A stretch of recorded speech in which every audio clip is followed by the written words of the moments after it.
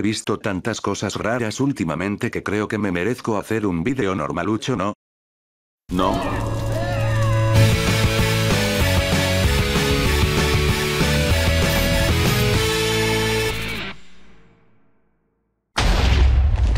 Buenas, aquí su loquendero con avatar de Sonic favorito.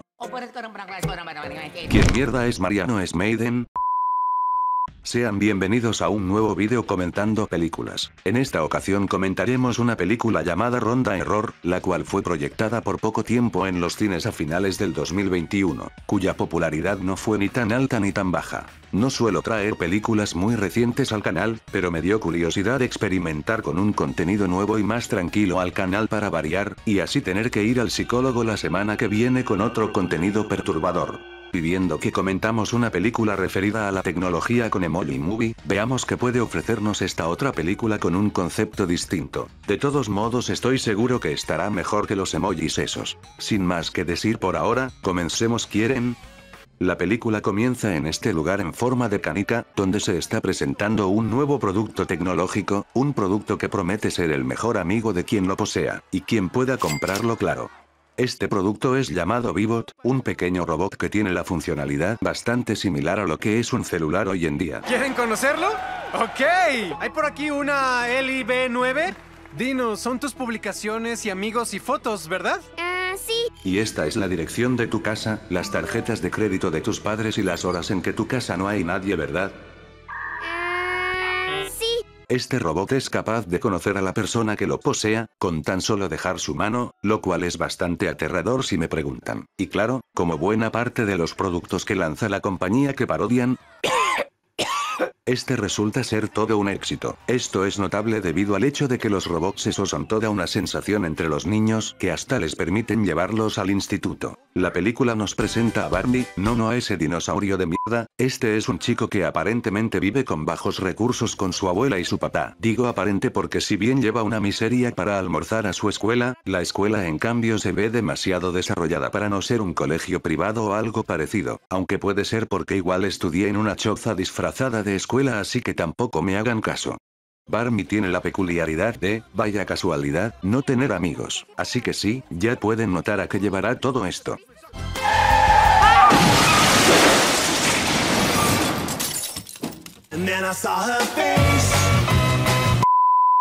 ¡Ey, fíjate! Perdón, señor. Oh Dios, espero que ese Vivot que se cayó no tenga ningún defecto y que no lo obtenga una persona que realmente lo necesite en buen estado. Guiño guiño. Ok, 18 minutos de recreo infernal. Mejor no. Barney. Ay, no. ¿Estás solo otra vez? Sí, pero si tú vas a ser mi compañía prefiero seguir así. Muchas gracias.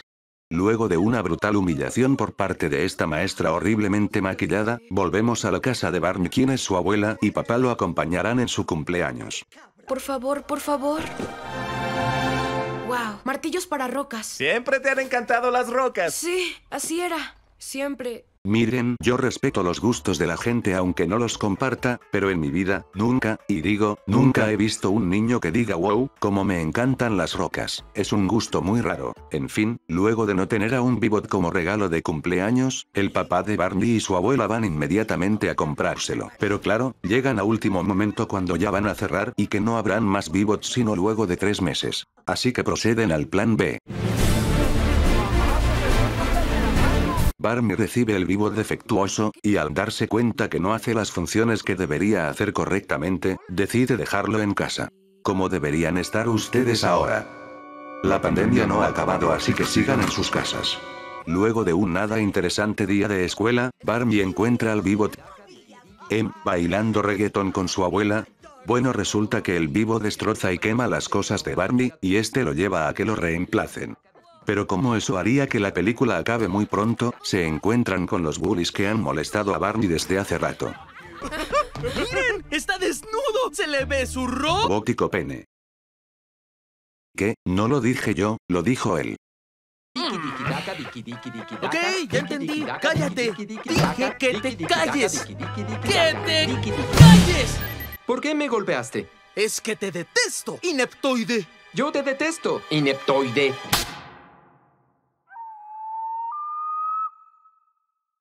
Al cabo que ni me dolió. Rich, el niño bully, llega a ser brutalmente humillado por el vivo de Barney, y manda a que llamen a la policía. Y como la tremenda humillación fue capturada en vivo, llega un oficial a llevarlos al centro de Bobble para que lo destruyan o algo. ¡Llévenselo de aquí! ¡Está loco! Debe ser un problema menor. Es violento, incontrolable y altamente peligroso. Sí, como este cabrón de aquí.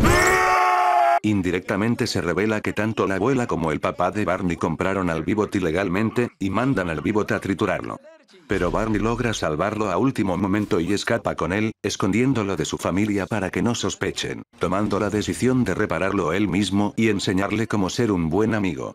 Oye, Barn, lamento muchísimo lo de tu Bebot. Algo se me ocurrirá. Ya déjalo hijo. así, no hay problema. Creo que todo saldrá muy bien. Sí, y dile eso a la duración restante de la película.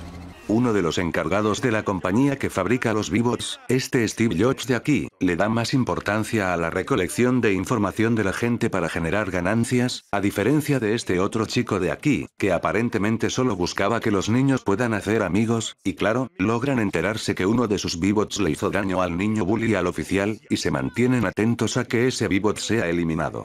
El proceso de enseñarle cómo ser un buen amigo a Ron resulta ser bastante lento y tedioso para Barney, pero logra finalmente dar algunos buenos resultados. Y ambos llegan a tener una amistad más estable. ¡Ugh! Las lombrices. No confío en nada que no tenga cara. En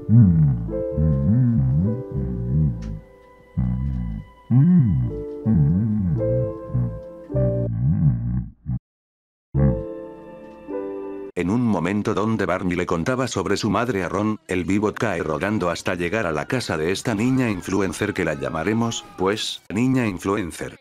La niña influencer le dice a Barney que su Bibot es, y cito, un inútil, ya que no es capaz de hacer amigos, a pesar de que para eso fueron construidos en primer lugar, lo cual en parte tiene razón, pero eso no hace de su diálogo menos cruel. La niña le muestra un concepto algo cuestionable sobre cómo debería ayudar a Barney a hacer amigos, y esto de alguna forma afecta a Ron. Y a pesar de que Barney le dice a la niña influencer que no divulgue ese bochornoso momento en la piscina, pues es obvio que si se divulga y llega hasta los malvados cuarteles de Hugo, digo Bowl. No tenemos nada de él. Este niño no ha hecho amistad con nadie. Nunca bloguea, ni publica, ni comparte. Como mi página de Facebook. La poca información documentada que hay de Ron y Barney, hace que este chico que no recuerdo su nombre y que no mencionaré por su color de piel, se dé cuenta que esa era la meta que buscaba al hacerlos vivos, que los niños se divirtiesen. Oh pero el malvado corporativo Bill Blowjobs manda a su patrulla para que traigan al vivo defectuoso, y así, examinarlo. Barney aún no se siente seguro de traer a Ron a su escuela, así que lo deja en su casa. Pero este se toma todo el concepto que le dio la niña influencer muy literalmente para ayudar a Barney a tener amigos. Y pues todo termina en un desastre, causándole problemas a Barney en su escuela. La falta de restricciones del Bibot llama la atención a la banda del niño bully, y utiliza a Ron para hackear los otros Bibots copiando su código. No mames. Los de Bobble llegan hasta la escuela para incautar el vivo de Barney y se dan cuenta de la catástrofe que se ha hecho debido al hackeo masivo a los otros vivos. La situación se sale tanto de control que no solo causa un desorden de todos los estudiantes, sino que todo fue documentado en vivo en todo el mundo. Ahí la niña influencer fue humillada públicamente, y su humillación se convirtió en algo viral. Los Bibots llegan a ser parcheados, Barney es echado de su escuela, haciendo que se enfurezca y que tanto él como Ron tengan el típico momento donde se separan. Aunque dicho momento tampoco dura mucho porque se soluciona todo en literalmente menos de 5 minutos. Y como están siendo perseguidos por la compañía fabricante de los Bibots, estos se dan a la fuga. Niña Popo es tendencia. Tienes 19 millones 32 mil me gusta. ¿Qué está pasando? Bubble está buscando a Ron. Lo culpan por el alboroto. Tengo que protegerlo. Niña Popo, toda. Toda mi vida van a llamarme de esa forma. Mejor eso a que te llamen sexo entre furros, ¿no lo crees? Luego de un largo y alocado viaje en un bosque, Barney le cuenta a Ron que la niña influencer y el niño bully eran sus amigos, pero que por varios motivos tomaron caminos separados. La desaparición de Barney preocupa tanto a su familia, como a los que solían ser sus dos únicos amigos. Mientras tanto, la compañía Bobble sigue en búsqueda de Barney y Ron, y estos activan a todos los Bibots a que los encuentren y erradiquen a Ron, para tener una mejor imagen al público que consumen sus productos. ¿Podría esto ponerse peor? Se preguntan. Pues sí, Barney parece que olvidó el cargador de Ron y este tiene bajo porcentaje de batería, aunque tampoco es que lo hubiera podido cargar en medio del puto bosque. Al estar desamparados en el bosque, hace que el asma de Barney empeore, y al verlo débil Ron decide llevarlo de vuelta para que le den auxilio.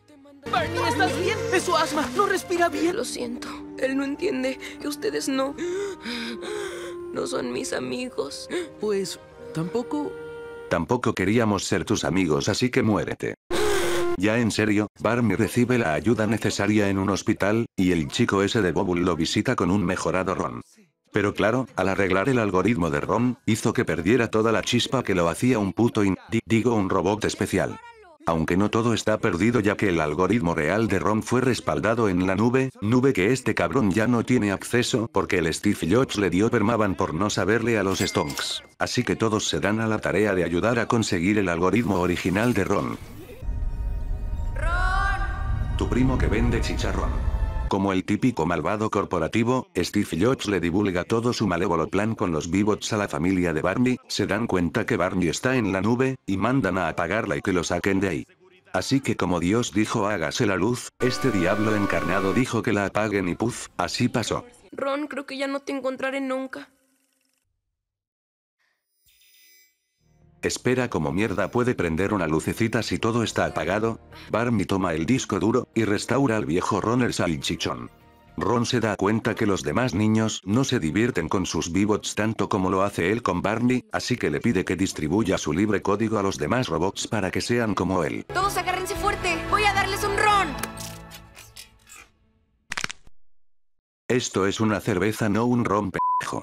Hay solo un problema con todo esto, y es que para que los demás robots se actualicen, la memoria de Ron debe fragmentarse, haciendo que Barney lo tenga que perder nuevamente. Está bien. Los cambiaremos por uno que sirva. Arrivederci, Ron Vinskatsko.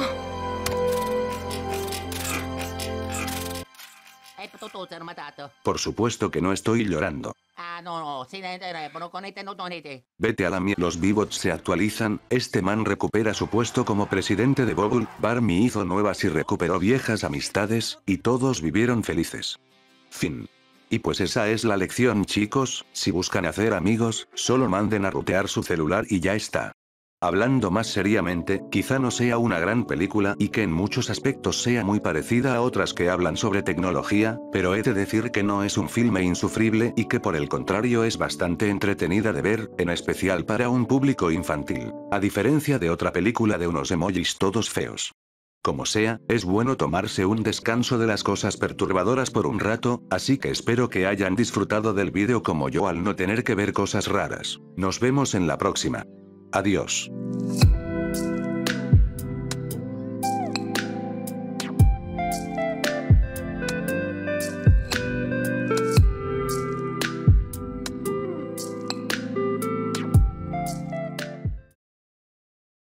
De acuerdo admito que sí dolió un poco.